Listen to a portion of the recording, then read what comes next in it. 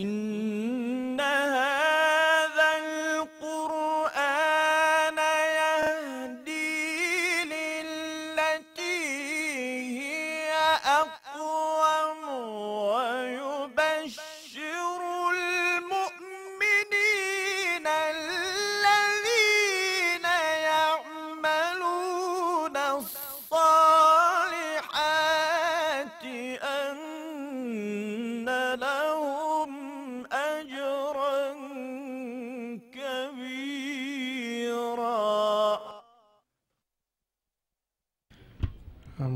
بالله من الشيطان الرجيم بسم الله الرحمن الرحيم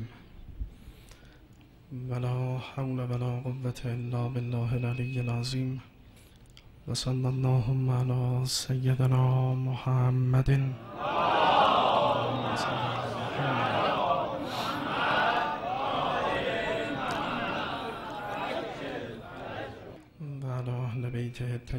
الطاهرين الهداة المهديين المنتجبين. سيما بقية الله في السماوات والأرضين.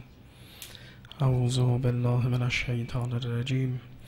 وكم من ملك في السماوات لا تغني شفاعتهم شيئا إلا من بعد أن يأذن الله لمن يشاء ويرضى إن الذين لا يؤمنون بالآخرة ليسمون الملائكة تسمية الأنثى. ما لهم به من علم إن يتبعون إلا الظن وإن الظن لا يغني من الحق شيئا. توفیقی است خدمت برادران و خواهران بزرگوار. آیات مبارکه سوره نجم رو مطرح می‌کنیم. سخن به این قسمت رسید در آیه 26 که بعد از آن که خداوند سبحان مایه سخن پیامبر و وحی الهی رو مطرح فرمود که از کجا آمده است. هر کس دیار آشنایی است. داند که کلام ما کجایی است. سخنی که علمه شدید القواست وحی ناب الهی که از سوی امین وحی منتقل بر سینه سینا و توانمند وجود نبی رحمت می شود یک سوی قضیه است. افرعیتم اللات و سوی دیگر است. آن خدا جهانبینی توحید عقبا و دنیایی که معرفی می شود در پناه وحی چیست؟ و آن مجعولات و خرافاتی که فارغ از وحی بشر با او زندگی کرده است عمری در طول زمان. اینها کجاست؟ خداوند سبحان یه مقایسه ای بین این دو مکتب در این سوره مبارکه ایجاد فرمود. خب تکرار سخن نمی کنیم. و نهایتا به اینجا رسید که ریشه عمده بتپرستی در میان این جماعت نبود مگر ان یتبعون الظن و ما تحمل انفس. ظنون و گمان زنی های ذهنی نابخردانه و امیال و هواهای درونی. اون گمانهای ناروای ذهنی انسان ها و تمنیاتشون. میل ها که می‌خواستند قرائز درونی خودشون رو اقناع کنند ولو اینکه گوشه هم به شمه هم به بیانی به تعبیر امروزین ما از معنویت بهره برده باشند. اما این تمنا و اقناع روحی خودشون رو با سلیقه نفسانی خودشون هماهنگ می‌کردن. این نکته مهمی بود که من سربسته دیروز خدمت عزیزان عرض کردم. دنیای امروز ما و بتپرستی نوین هم همین دو ریشه رو دارد. یعنی تصورات و گمان زنی های بشری با منطق ذهنی کاسب کارانه انسانی و اون دلبستگی ها و تمنیات نفسانی که انسان ها دارند از وجود این تصورات بوتی رو می سازند این بوت یا خود انسان هاست یا اومانیست افراطی است یا تجربه های اباهی گری بشری لیبرالیستی است یا اون ذهنیت ها و توهماتی است که از بعض از مکتب ها تراوش می کند و ذهن امروز بشر رو پر کرده است که همه اینها شعبه هایی از بودپرستی است که انسان ها به نوعی گرفتار این آرزه این چنینی در عصر و زمان ما و فارغ و جدای متاسفانه از توحید ناب و دستاورد فکری پیامبران الهی و وحی پاکیزه خداوندی هستند. خب به اینجا رسید سخن و فرمود فلله الاخرت و الاولا من قبل از اینکه وارد بحث امروز بشم که بحث جدی پیرامون شفاعت در این آیه می‌بینیم و مورد توجه و اقبال است این بحث باید از جهات عدیده این رو من بگشایم و کاوش کنم. یه جمله رو نسبت بحث دیروز عرض می کنم مایل نیستم خیلی اما خب به هر تقدیر چون هست نکته است که ابهام ذهنی گاه ممکن است ایجاد کند حاجت به تذکر است. پیرامون آیه 19 هم افرعیتم اللات و العزا و منات الثالثة الاخرى زیل این آیه شریفه متاسفانه واقعه و یه مجعول بافته ای رو یه سخن خرافی رو بعض از نویسندگان نوشتند در میان محدثان یا حتی مفسران مانند تبری. که موجب تأسف بسیار زیاد است نقل این. یعنی شاید اگر این بزرگان نه به اعتقاد حتی به همون نقلی هم که می‌کردن نقل می‌کردند این سخن واهی و خرافی رو مسلم بهتر بود و این مستمسکی برای کسانی حتی در عصر و زمان ما نمی‌شد. در اینجا داستانی و افسانه رو نقل می‌کنن. بعضی ها تحت عنوان افسانه غرانیق. غرانیق جمع قرنوق. قرنوق به تعبیر پارسیان اصیل بوتیمار یا به تعبیر عرفی کلنگنداز. اون مرغهای سپید بلند پروازی که فرادست بشریت حرکت می‌کنن و زیبایی خیلی شکوهمندی هم دارند. به جعل و خرافه جمعی گفتند و ساختند و نوشتند برای تخریب ساحت پیغمبر مکرم اسلام که زمانی که پیامبر مکرم اسلام این آیات رو می‌خواند آیه 19 و 20 رو که خوند بعد از اینکه گفت افرعیتم اللات و العزا یک باره یه حالی به پیامبر دست داد. من تکرار می‌کنم یک مرتبه در ذهنی در نگنجد که من دارم این ماجرا رو بازگو می‌کنم به عنوان یه ماجرا. نه این یه خرافه رو من دارم عرض می‌کنم که جزئیات اون رو به عنوان دفع و رد این مدعا عرض کنم. اینها گفتن پیامبر رو یه حالتی دست داد. همینطور که این آیات رو می‌خواند یک باره لب باز کرد گفت تلکل قرانی قل اولا ان شفاعتهن لترتجا. گفت این بتهای سگانه اینها قرانیقند اینها پرندگان سپیدبال بلند پروازند و دلبستگی به شفاعت اینها مورد رجا و امید است. تا که این سخن رو پیامبر گفت مشرکان که این جمله رو شنیدند یه نوع مماشات و کوتاه آمدن و سازشکاری دیدند و گرد پیامبر رو گرفتند ددی برخاک افتادند ددی تسلیم شدند چنین و چنان. این ماجرا هیچ ریشه روایی و حدیثی ندارد عزیزان. یعنی صرفا ساخته و پرداخته بعض از دشمنان و بدخواهان پیامبر بود و وا اسفا که جمعی از محدثان در میان اهل سنت البته در میان عامه و اهل سنت چند نفر این رو در کتابهاشون نوشتن.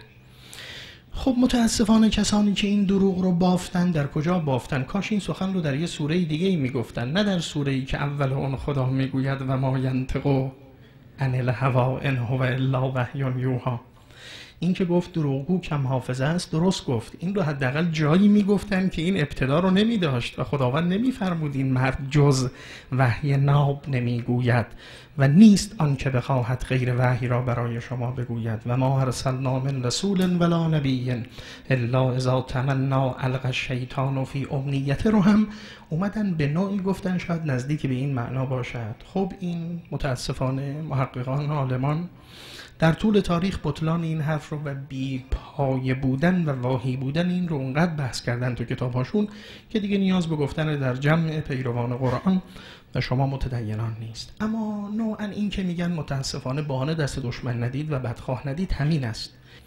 اما فرمود و کم من ملکن فی السماوات لا تغنی شفاعتهم شیئا. اشاره کردیم که جامعه بت پرست عرب در اون روز این بوتان رو که نامگذاری می کند و تمثالی که از اینها می سازد تمثال معنس است. یعنی شکل دخترکان به اینها داده است و زنان.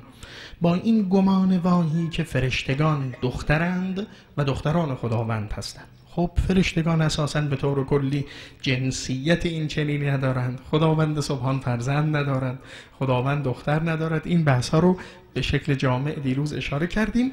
اما آخر مطلب این گفته شد که اینها به نوعی می‌گفتند و مدعی می‌شدند که ما می‌خواهیم در نزد خداوند سبحان از آبروی این گروه استفاده کنیم. اینها هاولاء شفعاءنا عند الله باشند. اینها واسطه گری کنند بین ما و خداوند و بسیاری از مشکلات ما رو مثلا حل کنند. به بهانه این توهم قرآن یه پاسخ کوبنده و زیبایی رو در این جهت مطرح می کند چه بسیار ملک. در لابلای مطالب پیشین اشاره کردیم که ملک غیر از ملائکه است. به عموم فرشتگان ملائکه گفته می شود اما به بزرگ فرشتگان ملک گفته می شود فرمود چه بسیار ملکن. کلمه کم هم استهزار دارند عزیزان. به اصطلاح ما دو گونه حرف کم در کلام عرب داریم. یک کم استفهامی یک کم خبریه داریم. هنگامی که خبری است بعد از اون مجروره هنگامی که استفهامی است بعد از اون منصوب میاد. اینجا جنبه خبری داره. کم من ملکن بسیار ملائکه بسیار ملک است در آسمان ها که لا تغنی شفاعتهم شیئا. نمی‌تواند بی نیاز و مغنی کند اقناع کند شفاعت اینها. از کسی چیزی را الا من بعدن مگر آنکه اذن الهی باشد. برای اون کسی که خدا می‌خواهد و رضای الهی در این جهت باشد. خب اینا یه مقدمه خوبی است که من این بحث رو خدمت عزیزان یه قدی گسترده تر مطرح کنم. استهزار دارید از موضوعاتی که در قرآن بسیار جدی مطرح می شود در مقوله قیامت. همین بحث شفاعت است. البته ما شفاعت مادی و تکوینی و دنیوی داریم که اون در قرآن چندان توجه به اون نیست چون نیاز به گفتن نیست. یکی دو جای این بحث اشاره می شود. اما عمده کلمه شفاعت هنگامی که گفته میشه در قرآن همون بحث شفاعتی است که در ذهن شماست که فضای اون شفاعت فضای قیامت و جهان باقی و اخروی است. بحث شفاعت در قرآن حاجت به تعمل جدی تر است. یعنی آیاتی که پیرامون شفاعت در قرآن کریم دیده می شود به گونه است که بعضی ها مخصوصا در این دهه های اخیر بعض از فرقه های خاص و نوظهور دست بر این مقوله گذاردند و حتی در نوشته های خودشون و کتاب های خودشون تاختند به بعض از صاحب نظران و گفتند به طور کلی اگر به قرآن بنگرید آنچنان که جماعت می‌گویند مخصوصا شیعیان می‌گویند شفاعت چنین چیزی نیست. به دلیل اینکه آیاتی در قرآن می‌بینید که نافی شفاعت است. خداوند صریحا در کلام خیش شفاعت رو نفی می‌کند. فما لهم من شافعین ولا صدیق همین شفاعت کجاست؟ شافع کیست؟ چه کسی در قیامت می‌تواند شفاعتی برای خودش بیاورد؟ فلا ینفعهم الشفاعه. منفعتی نمی‌دهد به کسی شفاعت. شفاعت سودمندی ندارد. بعض از این آیات رو این گروه و جماعت مطرح کردن به صحنه کشیدن و به بیان یه حجمه ای و یه به اصطلاح حمله ای به سوی مفهوم و بحث شفاعت رو در قرآن شروع کردن. استهزار دارید این مباحث این چنینی و نوع مباحث مفهوم دار عمیق در قرآن کریم؟ هیچگاه ما نمی‌تونیم اینها رو از یه بخش از قرآن از یه آیه از یه سوره استخراج کنیم و استفاده کنیم. بلکه حاجت به یه تحقیق فراگیر و جامع در خصوص این مفاهیم گسترده است تا بتونیم اون حقیقت بحث رو از کلام الهی استخراج کنیم. در قرآن ما شفاعت منفی داریم. یعنی خداوند سبحان شفاعت رو در قرآن نفی می کند و با یه خصوصیت هم نفی می کند شفاعت رو خداوند در قرآن اثبات می کند با یک خصوصیت اثبات می کند که من هر دو رو الان اشاره می کنم خدمت عزیزان. مانند این آیه‌ای که الان ملاحظه می‌فرمایید و خواندیم خدمت بزرگواران در قرآن کریم شفاعت در حق مشرکان بتپرستان کافران نفی می شود به طور کلی صریحا مانند همین مقوله آیاتی که اشاره شد. و ما لهم من شافعین. ولا صدیق همیم رأسا شفاعت رو خداوند سبحان در اینجا نفی می کند این یه شیوه و یه دسته از آیات شریف است. اما در بعض از آیات دیگر قرآن خداوند سبحان شفاعت رو اثبات می کند به نوعی شفاعت اثبات می شود که یه ویژگی و قید خاصی دارد که دیگه این معروف و آشنای ذهن همه عزیزان منزل الذی یشفع عنده الا باذنه خداوند اثبات شفاعت می کند اما شفاعت منوط با یه قیدی که در اینجا هم همون قید میاد. من بعد ان یعزن الله لمن یشاء. بحث اذن که این حاجت به یه تذکر بیشتری است که خواهم داد. پس در مجموع می‌بینید ما دو دسته آیه در مورد شفاعت داریم. ای که نفی شفاعت می‌کند مشخص است در حق چه کسانی است. یعنی در حق کافران مشرکان بتپرستان این مقوله اصلا وجود ندارد. شفاعت معنا ندارد. اما در جای دیگر شفاعت رو خداوند سبحان اثبات می کند در حق اون کسانی هست که استحقاق شفاعت رو دارند. از آنها قرآن تعبیر می کند به کسانی که یرزا خدا نسبت به اونها رضایت می دهد که در حق اونها شفاعت باشد.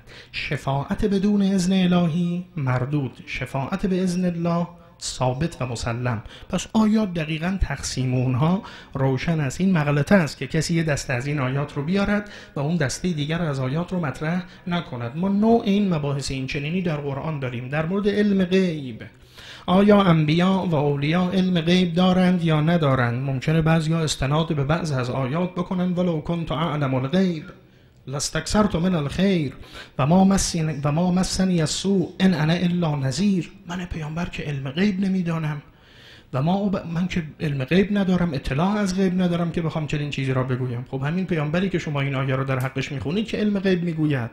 همین پیامبر که در کلام الهی عالم الغیب. فلا یظهر علی غیبه احدا الا من ارتضا من رسول. خداوند عالم غیب است. از علم غیب خودش به رسولان می‌دهد. اون رسولی را که میپسندد کدام رسول مرتضاتر و پسندیده تر از این پیامبر خاتم است. مستاق بارز گرفتن علم غیب به استثنایی که آیه شریفه مطرح می‌کند. عالم الغیب فلا یظهر علی غیبه احدا هیچ کس رو خدا بر این غیبش مطلع نمی کند الا من ارتضا مگر اون کسانی را که میپسندد و از این علم غیب به اونها عنایت می کند پس اثبات کردن و سلب کردن یه آدابی دارد. اگر خداوند چیزهایی را نفی می کند بعد اثبات اون می کند این نفی کلی نیست. این نفی میشه در بعض از شرایط و اثبات می شود در بعض از شرایط. مسئله شفاعت هم یه چنین چیزی است. لذا در نوع آیات شریفه قرآن وقتی که نگاه می‌کنید این کلمه ازن دیده میشه.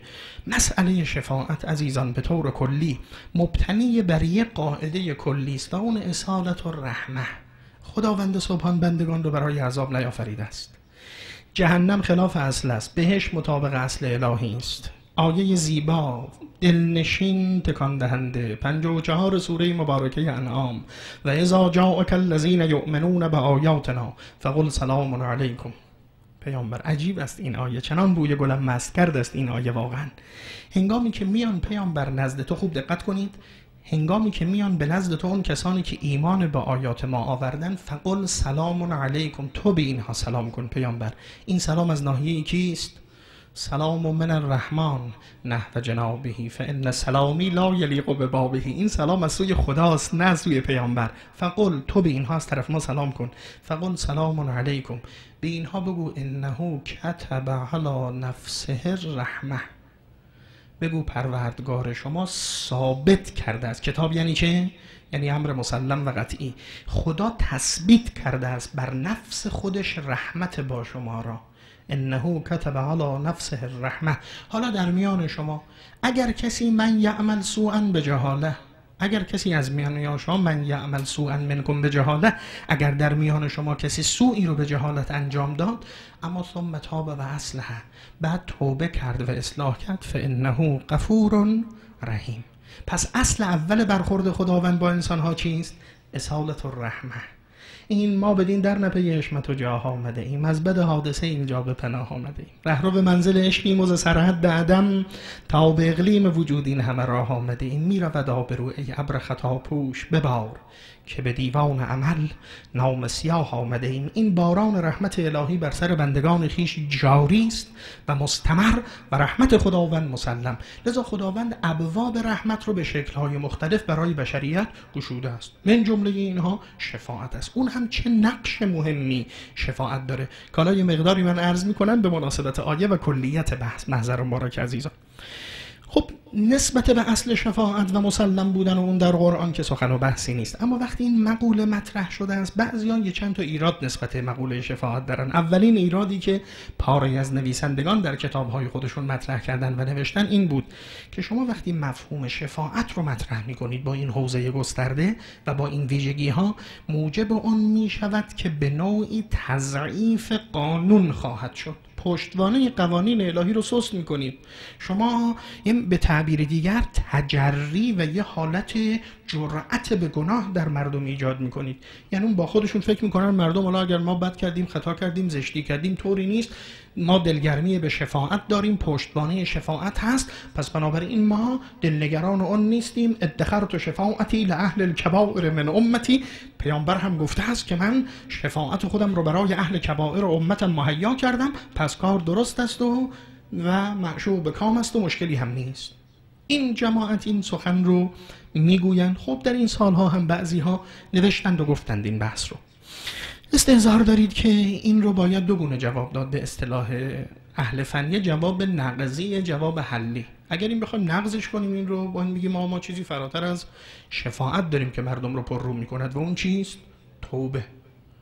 خب این توبه که خیلی از شفاعت دم دستر و حاضرتر و ملموستر برای ما خداوند باب توبه رو اونچنان برای بندگانش گشوده است که یا عبادی الذین اسرفوا علی انفسهم لا تقنطوا من رحمت الله ان الله یغفر الذنوب. جمیعا. بندگان من که اسراف بر خودتون کردید بدی کردید زشتید کردید تا آخرین گلوله شلیک کردید تیر رو زدید شمشیر رو از رو بستید حالا دیگه به آخر که رسیدید گفتید تمام. معیوس نباشید از خودتون. ان الله یغفر الذنوب جمیعا. خداوند جمیع گناهان رو میبخشد. باب توبه رو هنگامی که نگاه می‌کنید در کلام الهی دیگه چه تعبیری از این ما بالاتر داریم؟ ان الله یغفر الذنوب. فانه کان للعوابین غفورا. این وعده های سنگین الهی به مغفرت و این بشارت های به توبه این تشویق به توبه این که می‌بینید واقعا ان الله یحب التوابین و یحب المتطهرین. خداوند دوست میدارد توبه کنندگان رو.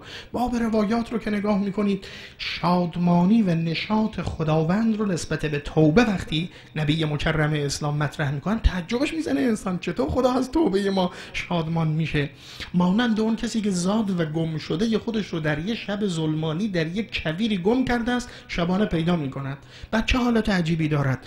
فرح ذات باری تعالی به توبه بندگانش از اون کسی که زاد و راهله خودش رو گم می کند و پیدا می کند بیشتر است. خب این خیلی عجیب است. آیات قرآن کافی است. حتی به روایات هم اگر استنادی نداشته باشه پس بنابراین اگر بحث پررو کردن و جرأت دادن است خب توبه هم چنین حالتی رو دارد.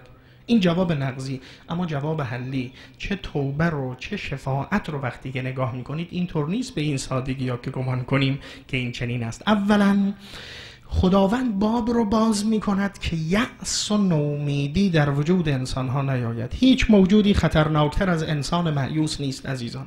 هنگامی که کار انسان به جایی رسید که گفت گر قامت ما برای غرق است یک ذر و دو ذر را چه فرق است؟ یک آدم که نه ده آدم هم می‌کشد انسان معیوس انسان اگر به مقام یأس برسه دیگه کارش تمام است.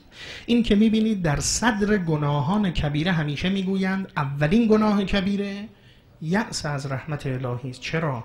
چون این انسان انسان معیوس از همه گناهکاران خطرناکتر است. اگر این آمد دیگه چون که صد آمد 90 هم پیش ماست. بقیه گناهان هم خواهد آمد. لذا همیشه این جمله گفته می شود. باب توبه رو خدا میگوشاید که انسان ها معیوس نباشند. و این حالت یأس و افسردگی و هرمان در وجودشون نیاید. اما وقتی نگاه می‌کنید به آیات شریفه قرآن در مورد توبه در عین اینکه این بشارت رو می‌بینید اما در این حال می‌بینید پذیرش توبه از هر کسی چندان مسلم نیست. خداوند سبحان وقتی بحث توبه رو مطرح می کند یقبل یقبل توبه رو که مطرح می کند بعد من میاد از هر کسی که بخواد. بخواهد خدا توبه رو قبول می کند یغفر لمن یشا یعذب من یشا مغفرتش رو به هر کسی که بخواهد می دهد عذاب شامل اون کسی که بخواهد می شود یعنی درب توبه رو خداوند باز می‌کنه به رو بندگانش مسلما. اما اینکه توبه صد درصد مقبول و مورد نظر و پذیرش الهی باشد این یه مقداری با تردید و ابهام گفته میشه. یعنی در صد درصد باز نیست. در باز است. اما نه اونچنان که صد درصد باز باشد. هم ایجاد امید میشه هم کنترل می‌کنه انسانها رو. از یه سو می‌گوید التائب من الظلم کمن لازم بله آن کسی که توبه از گناه می‌کند گویا گناه نکرده است. از اون طرف هم میگن خیلی امیدوار نباشید. الزامی نیست که خدا توبه شما را قبول کند. پس منطقی فکر کنید اگر گناه نکنید بهتر است. بهتر این است که انسان ترک و زن احون من طلب توبه. اگر گناه را انجام ندهد بهتر از این است که گناه کند و بعد احیانا باز در پیشگاه خداوند به توبه بنشیند و چنین و چنان کند. پس می‌بینید در مورد توبه خداوند یه سیاست این چنینی رو اتخاذ می‌کند که این ایجاد پررویی و جرأت در کسی نخواهد کرد نسبت به گناه الهی بلکه صرفا ایجاد امید می‌کند. دقیقا در مورد شفاعت هم مسئله همینه. یعنی وقتی بحث شفاعت مطرح میشه می‌بینید درب شفاعت گشوده شده است. یه اصل است. اون هم فراتر از توبه. یعنی توبه تا دنیاست تا زندگی است استمرار توبه بعد از مرگ میشه شفاعت. و این توبه در حیات و در زندگی خیلی راحت تره. اما اون که واقعا بیشتر از توبه کار می‌کند و گسترده تر ایجاد و امید و رحمت در دل انسان ها می‌کنه همین شفاعت است که حتی پس از مرگ هم به کار آدمی می آید و گره از وجود انسان باز می‌کند. پس خیلی رحمت عظیمی رو خدا بشارت میده. اما وقتی دقت می‌کنید باز لمن یشاء مانند این آیه. آیا چه کسی می‌تواند بگوید قطعا من مشمول شفاعت می‌شوم؟ هیچ کس. هیچ کس نمی‌تواند ادعا کنه که انا مشفوعون. حتما در حق من شفاعت وجود دارد. هیچ کس هم نمی‌تونه بگه قطعا من مشمول شفاعت نیستم. یعنی یه حالت خوف و رجا یه حالت بینابینی در این بین ایجاد می شود که انسان ها هم از نومیدی به در میان امیدوار به رحمت الهی. در این حال اون حالت تجری و احیانا جرأت بر گناه هم وجود ندارد. این که کاملا از خود آیات شریفه قرآن استفاده میشه. دومین نکته که در مورد شفاعت مقداری ذهن رو خار خار می کند و ایزاع ذهنی می‌کنه برای بعضی ها اینه به قیاسات دنیوی و کارهای دنیوی وقتی نگاه می‌کنن و بررسی می‌کنن گمان می‌کنن که شفاعت یه مقوله است از نوع همان چه در دنیا دیده می شود تحت عنوان واسطگری یا همانی که به تعبیر آمیانه تعبیر به پارتی و پارتی بازی می‌کنن. یعنی گمان می‌کنن بحث شفاعت از همین قسم است. بالاخره ما در دنیا امورمون کارهامون گرفتار شدیم و اینجا و اونجا ماندیم. اما الحمدلله که روابط هست. حالا ضوابط هم انشاءالله هست اما روابط قوی تر عمل می‌کنن. لذا دست به تلفن میشیم این سو اون سو. بالاخره کانال ها برقرار می‌شود و باب ها گشوده می‌شود باب رحمت. و کار به اونجا میشه که این قلم بر روی کاغذ اونچنان که باید بلغزد نمیلغزد. اون چه ما می‌خواهیم میلغزاند. نوعا این حالت در ذهن انسان ها در دنیا هست. این همون بحثی است که بالاخره مشاهده میفرمایید و گهگاه دیده میشه. ادعی بحث شفاعت را از این قسم گمان می‌کنن. یعنی گمان می‌کنن که بحث شفاعت یعنی, نوعی دخالت و تصرف در حکم و تصمیم خداوندی. همان گونه که در تصمیم یه قاضی و یه حاکم ممکنه عوامل جنبی تأثیر گذار باشه قلم به جور دیگری بلغزد حکم نوع دیگری صادر شود گمان می‌کنن در کار خدا هم شفاعت یه نوع تصرف و دخالت است. یه نوع فضولی در امر الهی است. مقلوبیت خدا در حکم به تعبیر بعضی ها وانی که استهزار دارید اساسا, اساسا این قیاس ذهنی ما غلط هست در بحث شفاعت. این کلمه ای که عرض کردم خیلی گره گشاست برای ما همین واژه اذن است. من یه توضیح مختصر میدم کاملا روشن. رسیدید در به خانه دوست محترم. دیدید در نیم باز است. میگید خب رفتیم داخل دیگه وارد خونه میشید. بعد میگید صاحب خانه ما آمدیم. صاحب خانه هم مونده چه بکنه؟ به شما بگه برگردید؟ دیگه در این حال چاره ای نداره جز این که دیگه بگه خب خوش آمدید مثلا. شما الان وارد شدید بعد از ورود سعی می‌کنید رضایت طرف رو کسب کنید. اینو توجه دارید در اسلام نه میشه از این کار. به طور کلی تصرف در مال دیگران لا یجوز لعهد ان یتصرف فی مال الغیر الا به تیب نفس صاحبه. تیب نفس و رضایت قلبی مهمه در تصرفات ما در مال دیگران. نه حتی ممکنه بر زبان هم یه چیزی جاری بشه. اون توی محضور اخلاقی قرار گرفته است. اصلا فقها در بعض از معاملات این چینی شک می‌کنن از جهت حقوقی. اینا رو باطل میدارن بعض از این معاملات رو. که کسی معخوذ به حیا شده باشه به معامله کرده باشه مثلا. وارد شدید خب در باز بوده است و بالاخره گفتید آمدیم. گفت خب چه بگید خوش آمدید. الان که شما به ظاهر رضایت گرفتید نام این چیست؟ اجازه است. اجازه یعنی رضایت بعد از عمل. کاری رو انجام دادید حالا دارید اجازه می‌گیرید. ما یه بحثی داریم مثلا از جهت حقوقی به نام بیع فضولی اصلا عقد فضولی. یه معامله رو انجام می‌داده کسی ماشین شما رو میفروشد براتون. بعد میگه فلانی ما ماشینتون رو فروختیم. این درست حق داره این کارو بکنه یا نه؟ تا اینجاش مشکلی نیست. حق داره بله. میگه چطور مال دیگران رو فروخته است؟ اما تنفیز و اینکه این معامله قطعی باشد بستگی داره به این جمله که شما می‌خواید بگید.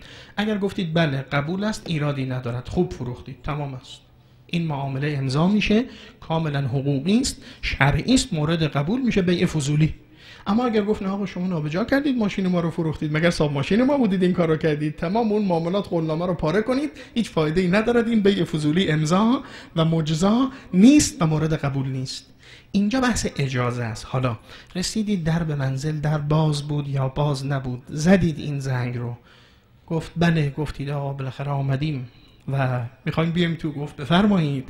الان که بعد از بفرمایید و هماهنگی شما اقدام به عمل کردید نام این اذن است. شما اذن دخول گرفتید الان نه اجازه ورود. التفات میفرمایید.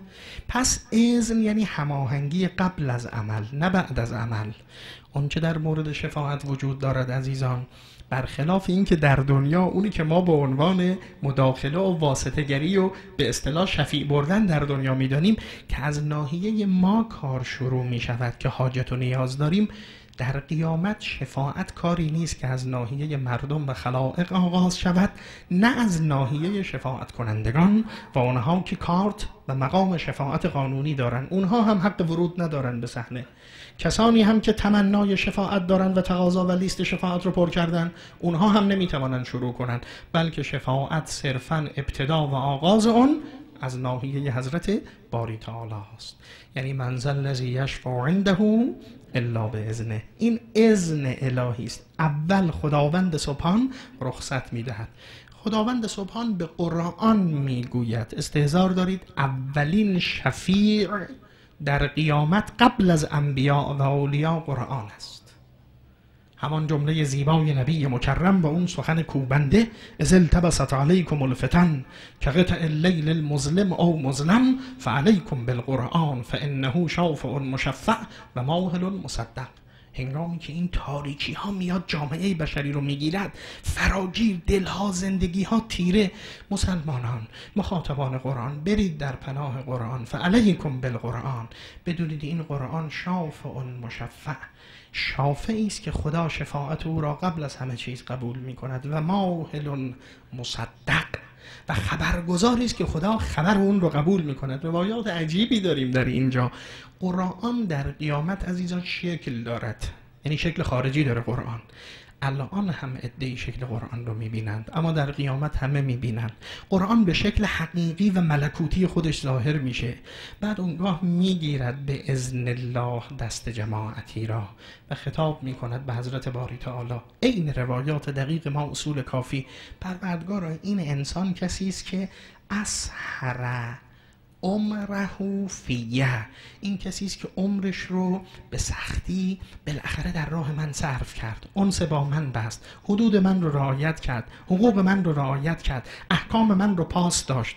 اونجا خطاب می‌رسد به این انسان که دستت رو باز کن. قرآن به اون میگه دستت رو باز کن. دستش رو باز می‌کند. بعد یه چیزی تو دست این می‌گذارن. اون نیست مگر کلید رحمت خداوندی به متن سریح روایاتمون؟ چه در متون شیعی چه در متون اهل سنت. اولین شفیع در صحنه قیامت خود قرآن است. خب اونگاه به دنبال اون خطاب از سوی خداوند سبحان به انبیا و اولیا می‌رسد. میرید مسجد النبی همون توائفی که اینجا حرف و حدیث دارن و این شبهات رو بعضا عرض می‌کنن. یکی از احادیثی که همین الان در روزه نبوی هست. رو به قبله بیستید کنار منبر به اصطلاح نبی مکرم. دست چپتون نگاه کنید اون زل بالای زیر قبت الخزرا همین حدیث رو مشاهده می‌کنید که قال رسول الله ادخرت شفاعتی لأهل الكبائر من امتی. عین متن سخن پیامبر رو هنوز اونجا نوشته می‌بینید. هنوز بر نداشتن جماعتی بالاخره و باقی است و مشخص و روشن. مقام شفاعت مقام محمود پیغمبر مکرم اسلام است. و اونگاه اون کسانی که لیاقت شفاعت دارند. الانبیا و الاولیا و شهدا و العلماء. اینها کسانی هستند که به اذن الله یعنی تمام مطلب تو اینه. شفاعت تکرار می‌کنم عزیزان. از ناحیه ما شروع نمیشه که ما تقاضای شفاعت داریم پس به حرف ما رسیدگی بشود. پرونده ما را رو بیاورید. شفاعت از ناحیه پیامبر شروع نمیشه که پیامبر بگوید یا الله ما می‌خواهیم شفاعت کنیم بعد بگوید بفرمایید. نه. خداوند رخصت و اذن شفاعت رو می‌دهد. حالا در آیه شریف نگاه کنید. فرمود بسیار فرشتگان در آسمان هستند. لا تغنی شفاعتهم. الا شیئا الا من بعد یعزن الله. اینها نمی‌تونن شفاعت کنن. چه برسد به این بتان شما به این معبودهای خیالی شما مگر آن که اذن الهی بیاید؟ این فرشتگان هم اگر بخواهند به مقام شفاعت بیستند اگر جبرئیل هم بخواهد شفاعت کند این بعد از آن است که خداوند رفع المانع می‌کنه. یعنی خداوند رخصت می‌دهد اونگاه می‌توانند به صحنه بیایند حالا این یه طرف قضیه به دنبال اون فرمود لمن یشا و یرزا اون غرور رو گرفت. گمان نکنید از آن هم است. نه. بلکه ویژگی که در مسئله شفاعت دارد یرزاست تا خداوند از کسی رضا ندهد شفاعت در حق او امضا نمی شود ان الله لا یرزا لعباده الکفر. خدا رضایت به کفر نداده است پس شفاعت در حق کافر معنا ندارد. خداوند شرک را نمیپسندد پس شفاعت در حق مشرک مفهومی ندارد. رفت کار اینها از صحنه بیرون رفتن. در حق اون کسانی شفاعت. از اهل ایمان که اینها اعمال دارن کار دارن. اینجا رو اجازه من یه مقداری آمیانه و خودمانی بگم. اینها بالاخره کارها خدمات عبادات اما اینها دلهایی رو هم آزردند. خاطرهایی رو هم مکدر کردند. اینها یه مشکلاتی هم پشت سرشون دارند. اینجا جایی است که بحث شفاعت مطرح می شود. کاستی ها و پاره از نقصان ها با مفهوم شفاعت این نومیدی تبدیل به امید میشه و به اصطلاح یه نوع دلگرمی برای اهل ایمان ایجاد میشه. شفاعت در چهارچوب ایمان در قرآن مفهوم دارد نه فارغ از چهارچوب ایمان و به نوعی بالاخره یه بهانه رحمت میشه. شاید در پاره از موارد که عزیزان کاری از ما بر نمی آید یعنی در حقوق مردم در حق و ناس که خداوند سبحان مداخله نمی کند تنها باریکه امیدی که دلها رو گرم می کند مسئله شفاعت است. اونجا ممکنه صاحبان حق به برکت حضور این اولیاء خدا بالاخره یه گوشه ای مماشات بکنن با دیگران. و به نوعی از گوشه ای از حقوق بگذرن. من گاهی وقتی می‌خوام این رو یه مقداری لطیفش کنم یه مقداری جنبه رحمانیت کار رو ملموسش کنم برای دوستان بحث شفاعت رو این مثال رو گاهی زدم به دوستان عزیز. گفتم ببینید بالاخره گاهی پیش میاد دیگه حالا والدین از شیوه های استفاده می‌کنن که شاید آن درست است یا درست نیست بحث دیگری دارن. بالاخره دیگه این بچه حالا کاری کرده از جوری شده است گفتم برو بیرون. این رفت بیرون. غذا آماده است. رخت خواب و تخت خواب مهیا. کاملا آماده پذیرایی از این نور چشمی و نور دیده.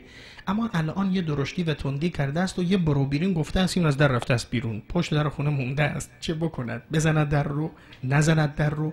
هم از یه طرف می‌داند که خانه امید اینجاست. اما از یه طرف روی درب کوبی ندارد. در انتظار این است. تلفن رو این پدر بر میدارد. زنگ رو می‌زند به همسایه و فلان دوست. میگه آقای عزیز شما بیایید از اینجا رد شید به عنوان رهگذار و آبر هنگامی که می‌بینید این فرزند من رو سر کوچه نشسته است دستش بگیرید بگید قضیه چیه؟ میگه ماجرا است.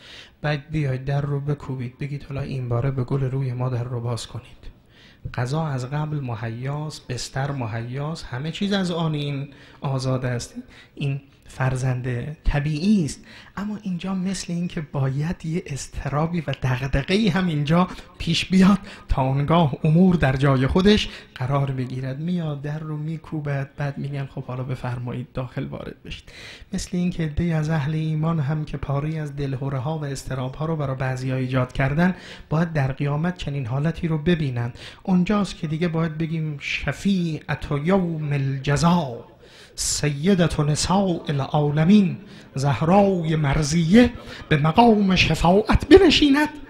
و اونجا به صحنه بیاد و بگد یا رباه پروردگارا اینها اینها اینها با اون اذنی که خدا به او می‌دهد و با اون رخصتی که خداوند سبحان مقرر می کند خب پس فرمود این نیست الا یعذر الله لمن یشاء و یرزا ان الذين لا يؤمنون بالآخره لیسمون الملائکه تسمیه الانثى اونها که ایمان به آخرت و این مقررات و قواعد و حساب و کتاب الهی ندارن میان این بازی ها رو در میارن و این اسم ها رو بر ملائکه الهی می‌گذارن و اینها رو جنسیت میدن اینها رو معبود می‌دانن اینها رو عرض به خدمت سرکار مؤنث می‌دانن و امثال اینها. این که روشن اما یه جمله اینجا دارد ببینید عزیزان در این اشتباه و خطا خداوند اعتقاد به آخرت رو مطرح می کند آن مقداری که در قرآن کریم بر بحث قیامت حضرت باری تعالی سرمایه گذاری کرده تو توحید نفرموده است. تو تو نبوت این مقدار خدا سرمایه گذاری نکرده.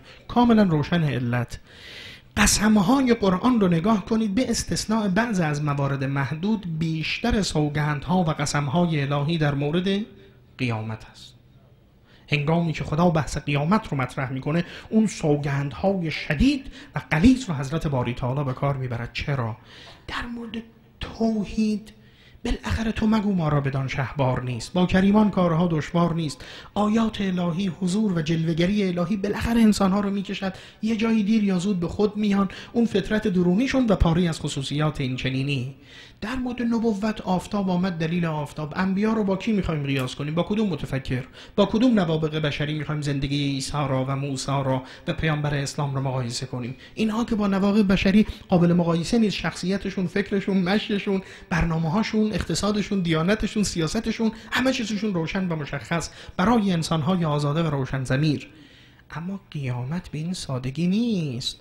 بحث عالم باقی رو بالاخره با کجا ما می‌خوایم درستش کنیم؟ با کدوم نشانه؟ با کدوم امارت؟ با کدام دلیل بیرونی حسی عینی؟ من یحیی العظام و هی رمیم. باید بگد قل یحیی الذی انشأها اول مره. و هو بكل خلق علیم. پاسخی که باید بده از این نوع است. اثبات مسئله قیامت در قرآن مشکل تر از دو اصل قبلی است. لذا سرمایه گذاری بیشتری در مورد قیامت در قرآن میشه. و کارایی این اصل هم طبعا میشه زمانت اجرایی بقیه اون دو اصل قبلی که این رو در پایان آیه به یه مناسبت خاص و ویژه‌ای که داریم در پایان سوره انشالله خواهم گفت. ما لهم بهی من علم ان یتبعون الا الزن اینها بدون علم دارن این حرفا رو می‌زنند. اینها نیست مگر اینکه تبعیت زن می‌کنن و ان الزن لا یغنی من الحق شیئا. و زن نمی‌تواند هیچ اقناع از حق کند. استهزار داشته باشید عزیزان. در مسائل اعتقادی و اصولی در مسائل بنیادی فکری گمان زنی و زن و وهم هیچ کارایی ندارد. اونجا حجت و برهان به صحنه می آید. تلک امانی هم قل ها تو برهانکم ان کنتم صادقین. اینجا جایی است که باید منطق و عقل و علم بیاد داوری کند. به صحنه گمان زنی و زن و تخمین و خیال و حدس نمی‌تواند هیچ کاری رو عقیده ای و اصلی رو برای کسی ثابت کند. فرمود ان زن لا یغنی من الحق شیئا. همین قسمت رو میگم تمام. فاعرض من تولا عن ذکرنا ولم یرد الا الحیات الدنیا. پیامبر این چقدر تلخ این آیه. خیلی تلخ است این آیه. فاعرض ارز سو جهت برابر. اعراض همزه همزه سلبه. یعنی جهت را عوض کردن. فاعرض جهت و آرز و سمتت رو برگردان. به تعبیر آمیانه روی خودت رو پیامبر برگردان. پشت کن. فاعرض امن تولا از آن کسی که او پشت کرده است. ان ذکر. از ذکر و یاد ما. پیامبر اون کسی که پشت کرده به ذکر ما و یاد ما و هیچ کاری به ما ندارد. حبیب ما تو هم با اون کاری نداری. فاعرض من تولا عن ذکرنا. این جمله عجیبی است درس کردم. خیلی جمله جمله غم انگیزی است. آیا چه کسی رو خداوند مطرح می کند ببینید این ذکر مطلق ذکر حالا ممکنه اسباب این ذکر قرآن باشه. خود قرآن ذکر است یا چیزهای دیگه. اما پیامبر اون کسانی که به ما کاری ندارن دیگه تصمیمشون گرفتن انتخاب خودشون رو کردن هیچ توجه به ما ندارن دلیلی نداره. عمر تو وقت تو صرف این جماعت باشد. اصل عقلی اقتضا می کند که سرمایه گذاری در جایی بکنی که امید به نتیجه باشد. اما در مورد اینها دیگه ختم الله علی قلوبهم و علی سمعهم و علی ابصارهم قشاوه. اون کسانی که دیگه وجودشون به قفلت فرو رفته است و هیچ توجهی به ما ندارند. عزیزان مهربانی از دو سربی پیامبر تو هم به اینها توجه و التفاتی نداشته باش. فاعرض من تولا عن ذکرنا. حالا قرآن به زیبایی علت این جدایی از ذکر الله را و جدایی از این حقیقت و محرومیت از این توجه رو مطرح می کند ولم یرد الحیات الدنیا. ریشه این کار چیست؟ چرا انسان ها ولا تطع من اغفلنا قلبه عن ذکرنا. پیامبر اعتنا نکن به اون کسی که اغفلنا قلبه عن ذکرنا. قلبش از ذکر ما دیگه جداست کاری به ذکر ما ندارد. اونجا هم همین نکته رو قرآن بازگو می‌کند. ریشه قفلت و جدایی و فارق شدن از یاد و ذکر الهی نیست عزیزان مگر اشتغال تمام و کمال به دنیا. مگر اراده کردن دنیا یه واکنش دو طرفه است به قول شیمیدان ها یعنی از یه طرف انسان وقتی از خدا غافل می شود به دنیا مشغول می شود وقتی به دنیا مشغول می شود از خدا غافل می شود یه واکنش دو سویه این هی تقویت و تشدید پیدا می کند فرمود اینها کسانی هستند که لم یرد الحیات دنیا فقط من یه جمله میگم البته نیاز به توضیح بیشتری هست که انشاءالله فردا خواهم گفت.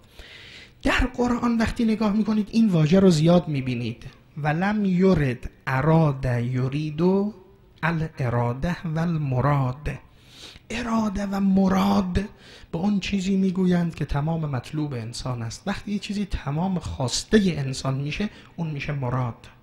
خداوند سبحان از حال روز جماعتی می‌گوید که مراد اونها میشه دنیا.